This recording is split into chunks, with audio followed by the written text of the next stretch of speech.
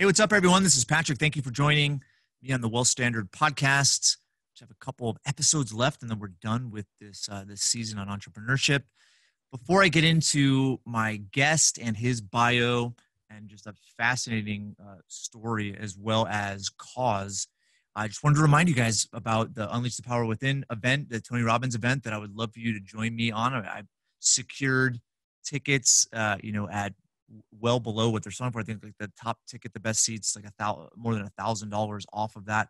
Uh, listen, I would love to have you join me. It's in it's in March, San Jose. Uh, there's some people coming from our our, our uh, my office, and uh, it's going to be an awesome event. So hopefully you guys can join us. If you guys go to the show notes, it'll have all the contact information for uh, Jeff, who's the, the, contact I have over at TonyRobbins.com, and he can he can hook you guys up. So again, love for you guys to join me. It'd be an incredible experience for you and help you to I, would understand your eh, help you understand yourself at a, a higher level and perhaps uh, give you that motivation that you need to implement some of the things we've been talking about on the on this season uh, of the podcast. All right, now to my guest. So I've I've hinted at the uh, you know, the, the, social ideas, the environmental ideas uh, that people have when it comes to the challenges that exist. You know, and, and I would I would say that you know the past has really put the onus of solving some of these environmental challenges social challenges on the shoulders of government uh, pub, you know public servants. And you know the, the guest i had a couple of years ago uh, josh land and lisa land i actually had them on a couple of times. Wrote a book called the social capitalist. Uh, you know there's other books that have come out about social consciousness uh, uh, you know conscious capitalism. There's this this uh, focus on doing things that are good for everyone. Uh, there's like socially conscious, you know, uh, investment funds now. There's tax credits for doing environmentally conscious things.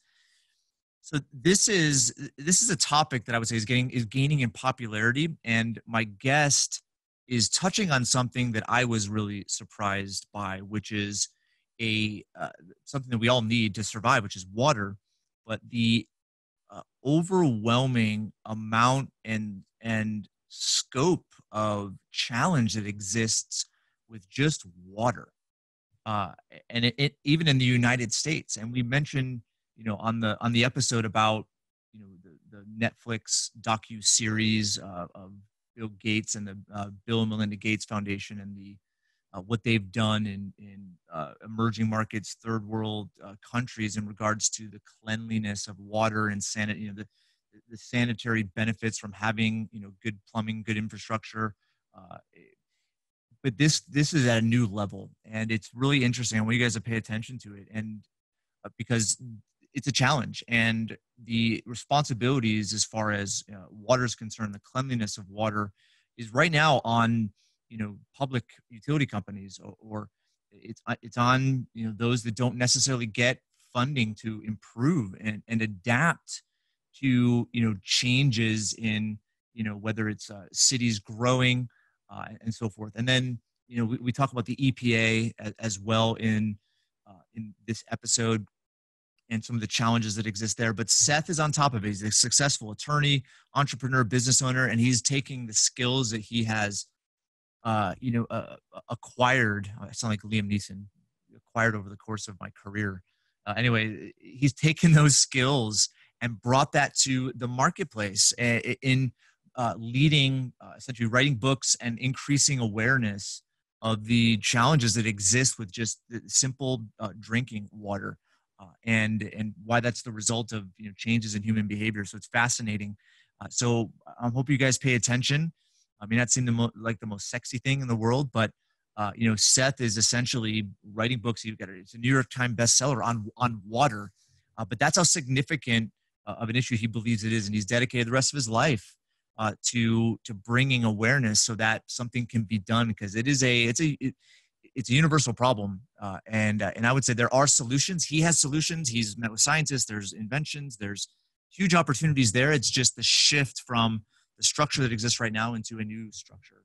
Uh, and a lot of that's just going to come by more social awareness uh, and and and sharing it and speaking to it. So hopefully you guys pay attention. Hope you enjoyed the episode. But let me give you a, his bio quick before I bring him on. Uh, so Seth Siegel is a, he's a serial entrepreneur, uh, water activist, and New York Times bestselling author. He uh, his critically acclaimed, award-winning book, "Let There Be Water: Israel's Solution for a Water-Starved World." Uh, it's been published in 17 different languages, and it's on sale in 50 different countries. Uh, and then he has his new book, uh, which is called "Troubled Water: What's Wrong with What We Drink," and it sets forth, you know, an ambitious agenda for a fundamental rethinking of America's drinking water system. Uh, and Seth has been recognized for his thought leadership and advocacy on water scarcity and quality. And he's a, a senior fellow at the University of Wisconsin Center for Water Policy. And he's, uh, his commentary has been in the New York Times, the Wall Street Journal, the Washington Post. And, and one more thing I'll say before I bring him on. You guys remember a couple of episodes uh, when I had uh, Mike Moyer on, and we talked about this bottle. If you guys are watching on video, if you're not, then you have no idea what I'm talking about. But this, uh, this is a Kissingen water by the Hanbury Smith Company out of New York. And what's really cool, and I share this with uh, share this with Seth. Uh, you know, one of my ancestors uh, in the 1800 brought one of the first like mineral water bottled water companies uh, to bring clean water, drinking water, uh, to the limelight uh, in New York City. And it, it was a fascinating story. I'm I'm still in the process of you know, writing that out. I know I said I would share that with listeners, but uh, it's just an interesting coincidence that Seth is coming on and we had a, a conversation about it. He's in New York City. Uh, so it's cool is, is, you know, the, the issue of clean water isn't a new thing. Uh, and and I, I would assume most of us believe that that's fixed, that we, you know, drink a water, you know, bottled water or, uh, you know, filtered water.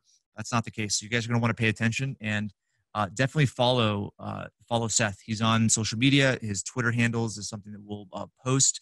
Uh, so go to the show notes to get all of the uh, the notes for this episode, as well as the links to his website and some of the initiatives he has going, as well as links to buy the book.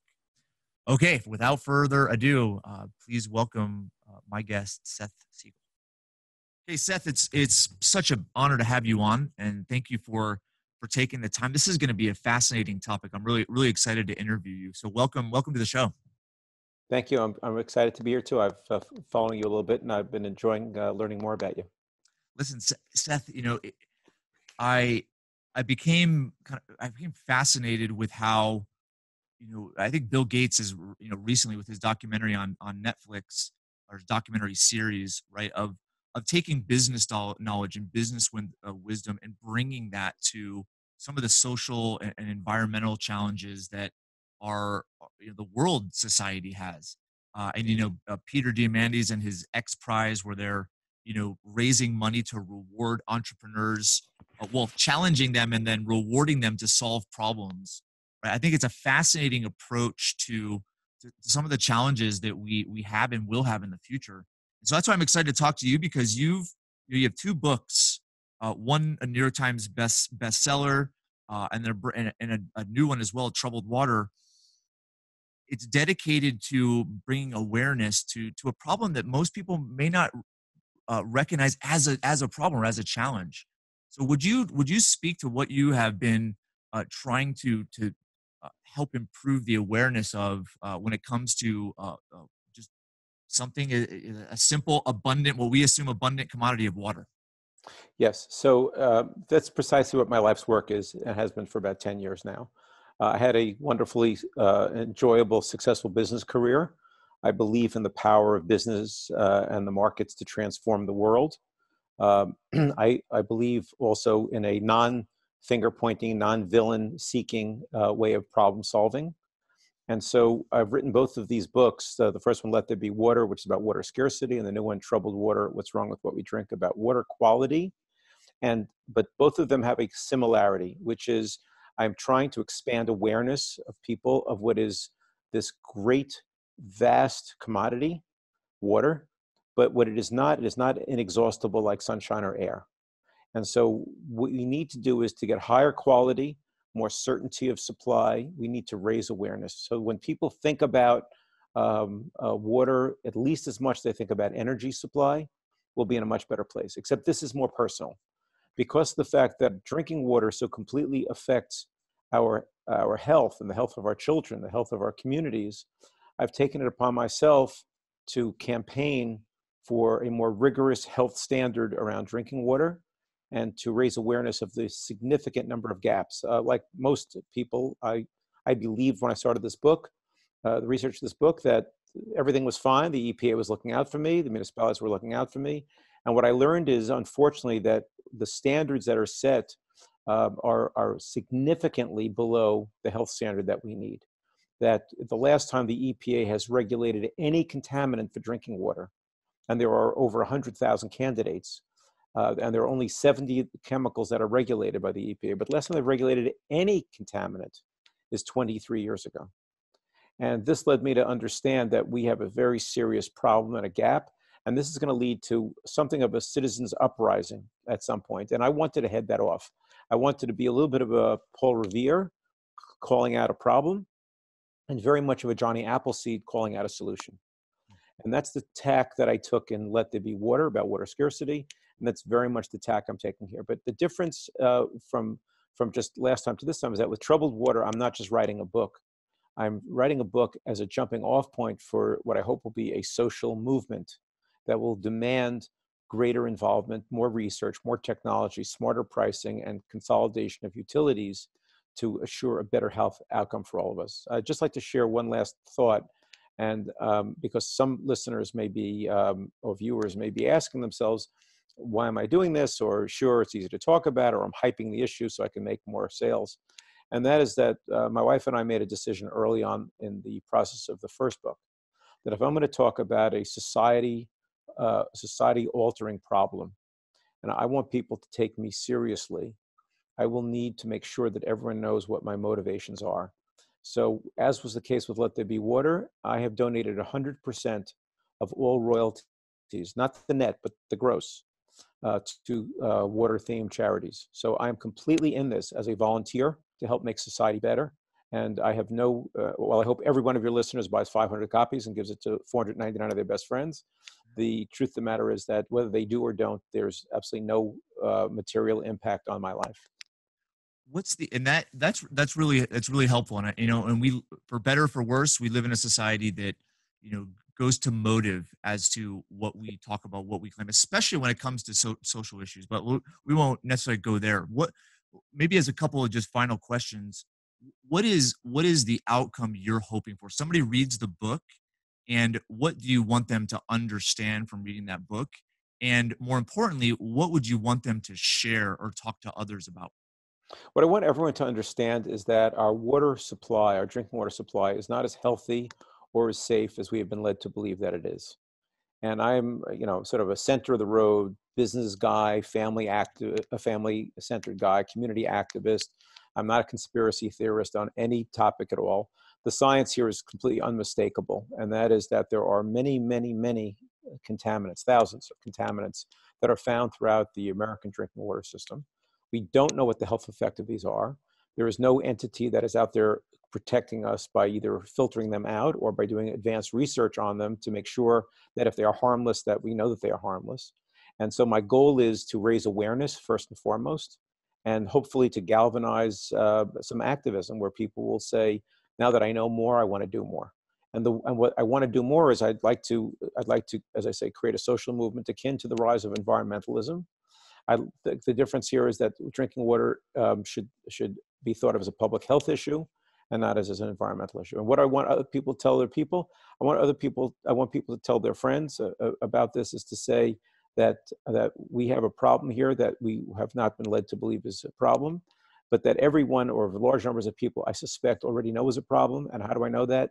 Because last year in the United States, 70 billion containers of bottled water were sold in the United States. And what has happened is while the EPA has been uh, in, inactive or not adequately active, what has happened is that America has adopted a parallel drinking water system by default.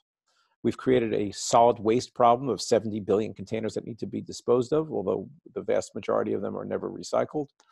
And, um, and but much, much worse than that is that, that, that we have an opportunity with current technology at very affordable prices to make the water as clean and as safe as, as, um, as, as science could allow.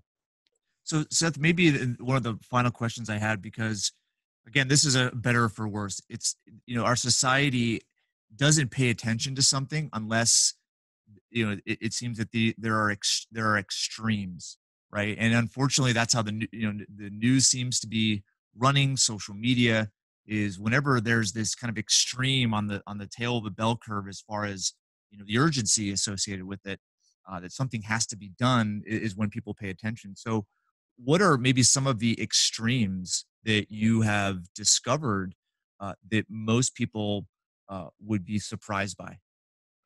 Well, uh, I'll, tell you a couple of, uh, if you want just data, I'll give you some data points that, uh, but I'll just share with you your, your mindset that you're absolutely right. It's been the cable newsification of American society, whereby if it's not in the hot news, it's, it's not relevant. I, I've, because of my charitable work, I've gotten to know uh, on a very close and warm basis a number of senators and congressmen from both parties. And I was in conversation recently with a senator, a well known person, not a presidential candidate, one of the few who's not been a presidential candidate.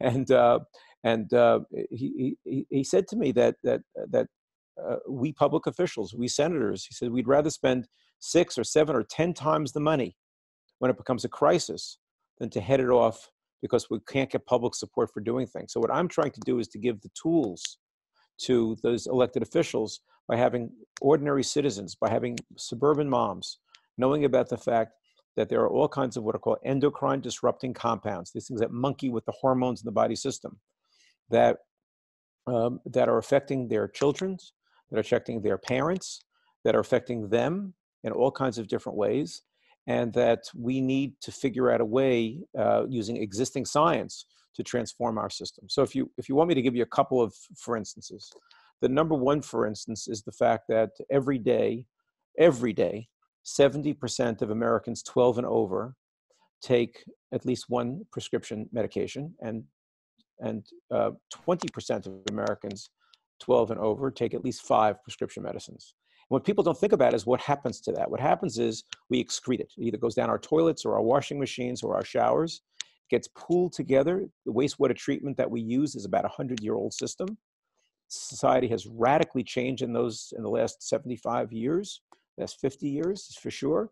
We are much more industrial. We have many more chemicals. There are now 50,000 50,000 FDA approved pharmaceutical products and another 5,000 over the counter ones and these are getting into our drinking water and coming back at us because it's not being treated out of our water it's coming back at us. And if you think about these medications each of them has a purpose.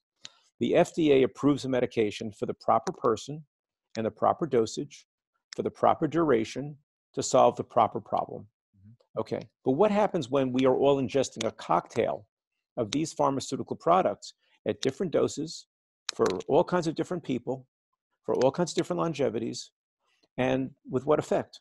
And we're not really sure. But what we do know is there's been an explosion in the United States over the past handful of years of a whole host of health conditions. Uh, ADHD is one of the most prominent of them, but, but others as well, obesities and other. And all of these are functions of the endocrine system or the hormonal system being interrupted. This affects fertility, this affects uh, sexual desire, this has all kinds of effects. And I, I am of the belief, and this is not me because I'm not a scientist, I am quoting scientists, esteemed scientists who I interviewed and who led me to this conclusion. Uh, we understand that there is a really very serious concern that we don't know what the effect is on our bodies, but we see what's happening in society with a sense that that very possibly this environmental attack is coming at us from our drinking water. Um, if I could, just one other element I'd like to say, which is absolutely. that the other thing that people have no, you said like sort of what will surprise us. So I'll tell you another thing that will surprise us. What will surprise you is the fact that is the fact that there are so many drinking water utilities in the United States. A rational number, I believe, would be about 250 to 400 utilities around the US. There are 50 states. Not every state needs to have their own utility, but I could see why everyone would want to have at least one and big states like Texas or California could see having six or eight or 10. And that would make sense. I mean, it'd be a proper number. You could get the right amount of science and technology and finance and all that you would need. but the actual number, and I, if I was playing a game with you, I'd ask you to guess. I know what, that's what I do with audiences. Um, the actual number is 51,535. What? Exactly. And there are so many utilities, 46,000 of them are very, very tiny populations but they add up to millions and millions of people. And so what happens is, is that they are so small and so underfunded that they don't have the capacity to attract the most recent graduates of the best uh, engineering programs. they don't have the ability to buy or even to know about which are the best technologies they should be installing. Innovation and well, the innovation that is stifling innovation, and finally, you've probably heard that there, we have a very old national water infrastructure system, which in, in next starting immediately we need replacement, but certainly over the next 20 years we'll need replacement. But these utilities, which uh, amass large parts of the country, don't have the funding or the know-how to replace the, the 1.1 million miles of water mains that need to be replaced. There were 240,000 water mains last year that broke in the United States because they're too old and they're and they're defective now. And lest you think that this is just sort of like uh, you know there's so many utilities because they're in the northern reaches of North Dakota or of you know rural Arkansas or something like that. I want you to understand and your and your viewers and listeners to understand that actually in Los Angeles County alone, there are more than 200 water utilities. And so, how this all came to be, I talk about at length in my book. Um, why and how we're going to fix this and change this, I talk about in my book. But the fact remains is that we have a system right now that is forcing us to not have the most pro health orientation possible. Well, one thing I was going to this keeps going through my mind is what I mentioned at the beginning, which I'll which I'll repeat, is as far as like these types of whether it's utilities or it's infrastructure, there's always been a dependence on it coming from uh, uh, government, right? Whether it's local or state or, or, or, federal, and and and you're hitting the nail on the head because of you know, I would say lack of innovation. You're you're there's gaps, and those gaps compound, and now you're starting to see the results of that. And like I said, I, I think there are there's this misconception that bottled water or certain filtration systems uh, do the trick so you, so you don't drink your tap water. But you're you're base you're arguing that that is not the case and that there is a, a much bigger problem at hand. Yes and, exactly and that and that uh, so that uh, some i think i heard this statistic that some 60% of americans have bought or currently use some type of filtering system in their homes which sounds high to me but it's certainly not impossible. Um, and but the problem is, is that there are very few systems, except for the very, very expensive ones, that bring the water to the quality that you would think that it would. So if you buy a, a countertop pitcher system, unless you're very lucky that your community only has one single contaminant and you match it with that contaminant with the filter that you're going to be fine uh, and, and and so here, here's the, here's the phrase that I'd like you and all of your uh, listeners and followers to to know and that is that legal does not necessarily equal safe. And what I mean by that is that the EPA creates these standards. They say there are 91 contaminants, 70 chemicals of that 91. And these are the regulated contaminants. And then a utility is told as long as you keep those contaminants below a certain what they call health level, you can transport the water all you want. Now, we're not exactly sure that all those quote unquote health levels are actually healthy. It's possible that they're higher than they should be. But let's assume that the EPA is right. But what then doesn't happen is that anything else that's in the water, any other contaminant that's in the water, does not, there's no legal obligation whatsoever by any utility to filter or treat out that those other contaminants. And so the water may be legal. The mayor may say, we have not had a violation of the EPA in five years or 10 years or ever. But it doesn't mean that the people in the community are getting safe water. The other thing that should be kept in mind is that last year there were 80,000 violations of the Safe Drinking Water Act. Uh, the official listed number is about 12,700 of them are health violations, meaning the water is actually on unhealthy levels of contaminants. But experts who've studied this believe that because it's an honor system, a self reporting system, they believe that the number of actual health violations could be, might be as much as 40 or 50,000 violations in a given year and this is a pretty standard uh, fixed number year to year. And, and so our testing system is wrong, our reporting system is wrong, our accountability by the state and by the EPA is all, is all I think, upside down and backwards. We are too focused on making sure that the utility ha- has the tools that they need and that they're not unduly burdened, when our entire perspective should be on, on public health. Uh, of course, obviously at an affordable price, but that is, we know with current technology, is completely doable. Okay, so Seth, th- this is where maybe a, fi- a final point, so we don't just make our our audience make the audience stir crazy and, and, and, anxious. What what are what are a few of the solutions that you t- you talk about? Maybe with the top two. Okay, so if I can, if you allow me to have three. Okay. Okay. So, so, so, so the first and I think most important, and the reason I wrote the book, and the reason I'm traveling from community to community, and I've spoken, I don't even know in the financial community, I've spoken before a number of very well-known banks. And if any of your listeners are the financial community, I would, I know you're going to give everybody contact information. I would really love for you to contact me, and let's find a way for me to speak either by Skype or live before your audiences to talk about this. But the first thing is really to create a citizens movement akin to the environmental movement of the 70s and 80s, whereby citizens understand that this is a remediable, solvable problem at an affordable price, which will have an almost immediately positive effect on society's health and well-being. And most people think, when they think about this thing about lead pipes in Flint, Michigan, there are 10 and a half million lead pipes in America. A survey taken by New York State says that 82% of New York State schools have lead pipes in them. So we are we are really poisoning our children. Poisoning all, ourselves. all over the place. So, so that's number one. So the first thing is I want to create citizen awareness, and by citizen awareness, people will start grousing and will start demanding more. And the solution then comes from the fact that we'll have a systemic change. The second solution I would like us to have is we can't do it nationally. I'd like to have us do it community by community. I profile in the book Orange County, California, and I do that deliberately because I want everyone to understand that here is a community that made a choice to ignore the EPA guidelines and to choose something that brings the water to basically no contaminants whatsoever. They made a choice to purify their water at a much higher level. And they do this, they do this at a cost of about 60 cents a week per person. And they have, as part of that cost, they also have a whole problem about ocean infiltration. So the rest of America wouldn't have that. But even if we did, it's $30 a year per person. And that is not a very large amount of money, particularly when you ask the $20 billion a year we're spending in America for bottled water, to say nothing of the waste problem that that creates.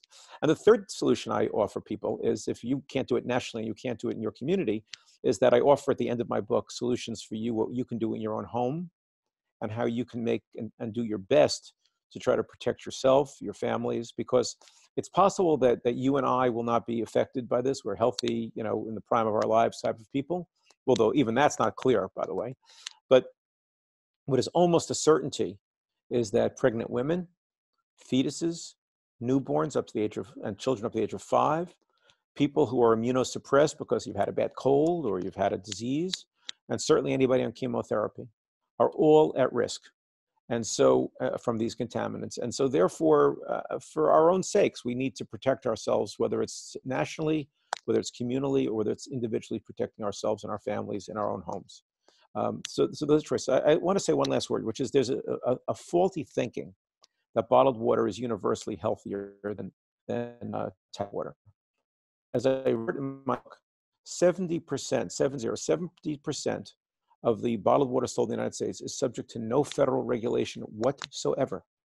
Nothing, zero. Not FDA, not EPA, zero. And there's a quirk in the law, which I think is crazy, which exempts uh, all these water companies from any type of uh, federal regulation. They're subject to state regulation for those few states that actually regulate drinking water. And, um, and so for the vast amount, we don't know the amount because no one's regulating it, but a vast amount of the bottled water sold in the United States is literally tap water put into a bottle that is then sealed. Now, that's not true of some of the bigger brands, uh, some of the more prominent brands, but on a volume basis, it's totally true of most of the water that's sold in the United States. Is there some sort of index or something that's done privately that that that rates the types of bottled water that's out there? Well, I'll tell you this: the last time, the last time anyone did a study, and it was done by the Natural Resource Defense Council about 20 years ago, they surveyed several hundreds of bottled water brands. They took three examples of each of them, and they found something quite remarkable: that that the a very large percentage of them had contaminants or E. coli in them. Uh, really hard to believe, right? But, but nonetheless, it was there. And um, number one. Number two is they found that even when you had three bottles from the same producer and you tested them side by side by side, some of them were contaminated and some of them weren't contaminated. So it doesn't necessarily mean that everything from brand X is bad and that everything from brand Y is good. So you, you confuse it. And, and, the, and, and the other problem is about plastic uh, drinking water bottles is that we now know that the plastic leaches uh, um, hydrochemicals, hydrocarbon chemicals into the water if it's in a if it's kept in a warm environment. And since we don't know how the bottled water was kept, you know, in the summertime or if it's in a warm warehouse, therefore we have good reason to fear, I think, that the water may um, may not be as pure as we are led to believe it might be. Even that's I'm talking about even for the very good bottled waters. So that's so that's the concern that I think people should have about bottled water, and therefore defaulting to bottled water as a solution is probably what used to be called a fool's paradise. Well, Seth, this has been a, a, a fascinating discussion. We could probably keep going, uh, but I know that a lot of what you're talking about is in your book, so we'll make sure we get the word out because this is. It was surprising to me doing some research for the interview. Um, I it, it, intrigued me right at the same time it made me it made me really concerned because uh, i i love i love water i drink water more than anything else which i, I assume is healthy uh, but in the end you know I, I looked into some of the stuff that you've been talking about and can't wait to read more in your in your book and we'll make sure we post it on our social media channels so we can get the word out. You know if, if people don't have the patience to read a whole book I, I also i'm on twitter uh, virtually every day talking about water issues. So I'm also at Seth M. Siegel, S-I-E-G-E-L. But but obviously the book is the more comprehensive approach. And and I would suggest also to people if you have a friend or a, a government official or a journalist that you know, um, and I'm so delighted to be on your podcast as a result of this, uh, that please spread the word. We will not have the changes we need until it becomes conventional wisdom that we have a, a, a fractured drinking water system that could be so much better.